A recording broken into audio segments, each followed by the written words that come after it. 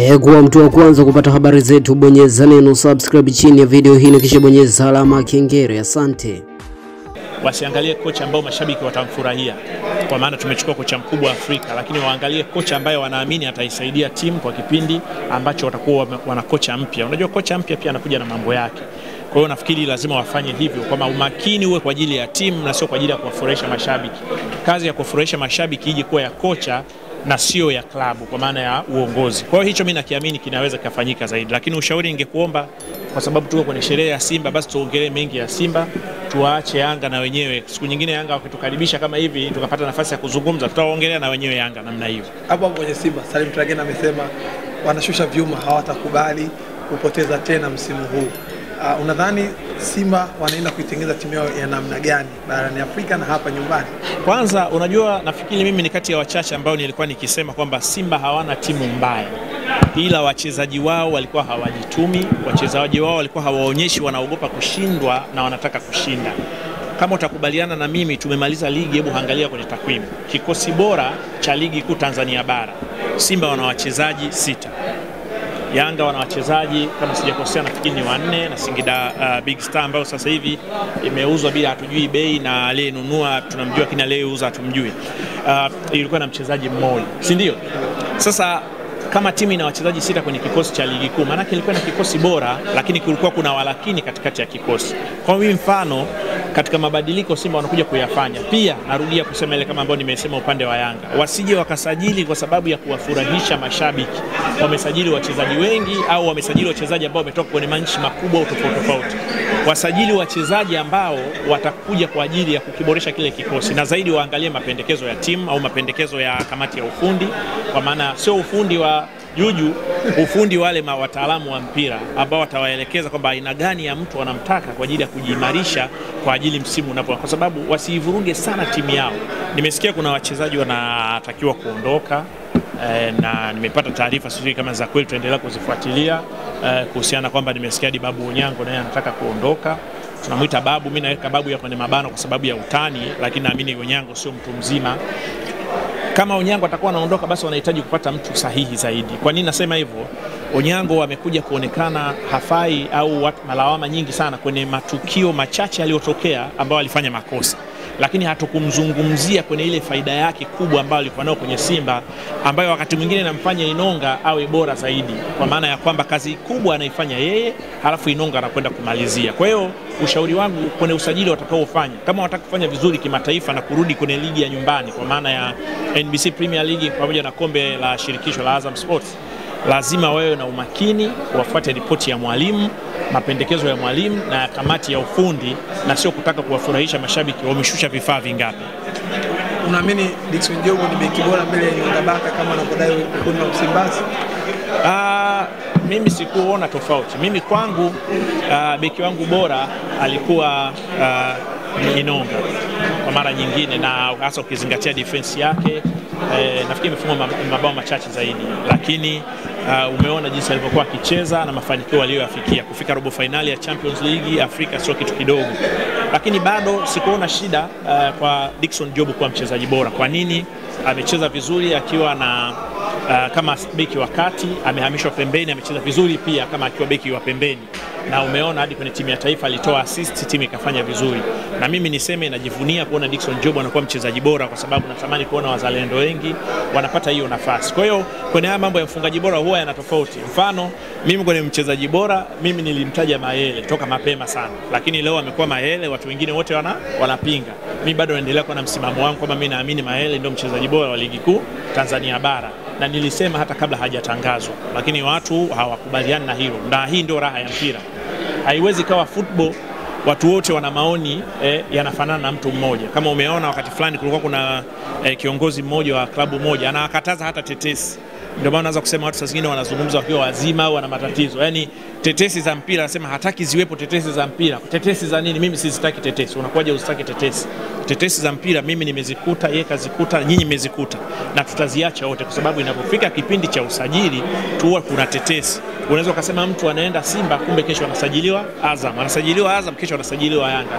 Huu mpira ndivyo ulivyo. Asante sana. Kikosi chenye uhakika, lakini pia kuwa na technical bench yenye uhakika. Unaona kwamba na wenyewe wana wanakwenda kuingia kwenye kipindi cha mpito, umeelewa? So sijajua. Sijajua wao uh, viongozi watakuwa wamejiandaa uh, kiasi gani kujibu maswali mengi ambayo yatatokana na hizi changamoto ambazo zinatokea kwa maana ya kuondoka Nabi, lakini pia unategemea baadhi ya wachezaji. Yes wataondoka kwenye kikosi cha, cha, cha, cha Young Africans yeah. Na ukiangalia mtu mwenye magoli kama Fiso Maele ana goli 17 za ligi, goli saba za shirikisho, lakini ana- anazo goli kadhaa alizofungwa kwenye mash- mashindano ya Champions League kwenye hatua za awali. Like, ukipoteza mchezaji ambaye ana takriban magoli 50 kwenye misimu miwili kwa klabu ya daraja la Yanga ambayo inajinasibu sasa inataka kwenda kwenye ushindani wa, wa, wa Afrika, unaiona Yanga wapi? Sasa inampoteza Nabi, inampoteza mchezaji mwenye magoli takriban 50 ndani ya misimu miwili tu. Ni kitu kikubwa, ni kitu kikubwa, na Young Africans wanapaswa kuwa makini sana, wanapaswa kuwa makini sana kwa sababu kama wasipokuwa makini kwenye kufanya replacement next, uh, next season watakuwa Champions League. Sasa imagine umefika fainali ya kombe la shirikisho alafu kwenye Champions League ushindwe kufika hata kuvuka hata hatua ya makundi. Yani itakuwa ni kitu itakuwa ni kitu cha hovyo sana. Umeelewa? So Young Africans na mm, viongozi kwa ujumla wanajua challenge ambayo ambayo iko iko mbele yao. Kitu kizuri kwao ni kwamba of course wana, viongozi wao wao wao wako, wako pale pale kwa sababu unajua sometimes tukizungumzia haya mafanikio mafanikio ya, ya timu huwezi kuzungumza tu benchi la ufundi huwezi kuzungumza tu wachezaji lazima pia unazungumza na management. Yani hizi idara tatu zinapaswa kufanya kazi kwa asilimia mia moja ili klabu ipate me, uh, matokeo ambayo inayategemea. Sawa, management iwe proper, technical bench iwe proper, lakini pia wachezaji wawe wa kiwango kikubwa. umenelewa? So benchi la ufundi linavurugika kwenye eneo la wachezaji linavurugika, lakini eneo la uongozi liko pale pale. Umeelewa? Hiyo ndio hope pekee ambayo ya mashabiki wa Yanga wako nayo eh, kwamba viongozi ambao wameleta wameleta Nabi wameleta kina Mayele wanaweza kufanya kitu kile kile, umeelewa? Lakini haikugaranti, umeelewa? Haiku- Haikugaranti na na hii, na hii unajua ina inaonyesha kwamba hizi timu bado ni ndogo. Simba na Yanga Yes. au timu zetu za ukanda wetu. Simba, Yanga, umenelewa, bado ni, bado ni ndogo.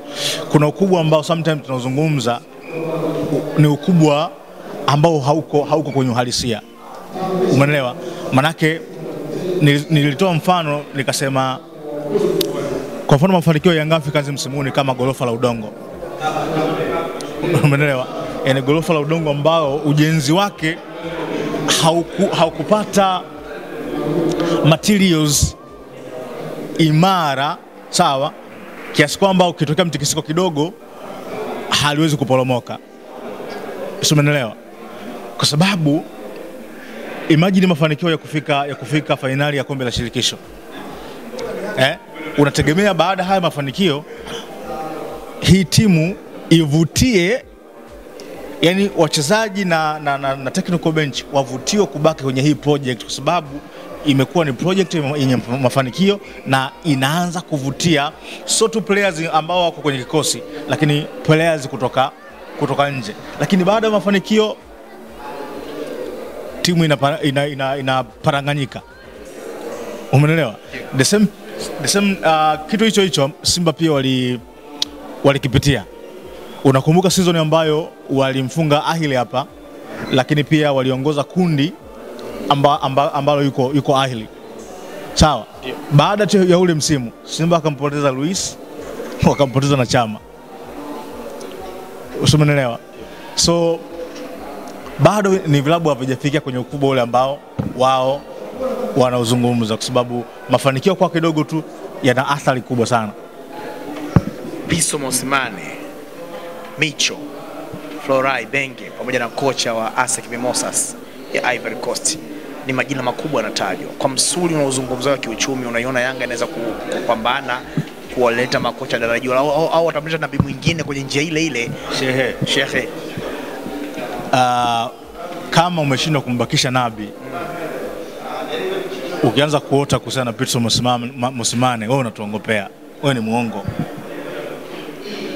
Kwa maana Yanga kimsule hizi kumleta kocha mwenye daraja hilo. Yaani kama umeshindwa kumbakisha Nabi alafu una, unaanza kutuambia una uwezo wa kumpata Pitso Mosimane, Mosimane kwani Yanga umeshindwa kumbakisha Nabi ama Nabi kaona anahitaji changamoto mpya, si ndivyo ilivyotoka ile taarifa kwa umma? Ilikuwa nazungumza kwenye picha hiyo kwamba Nabi anahitaji kwenda kufanya kitu kingine kwenye eneo lingine, kupata changamoto mpya, ama wameshindwa kumbakisha kiuchumi, au mimi ndo sioni?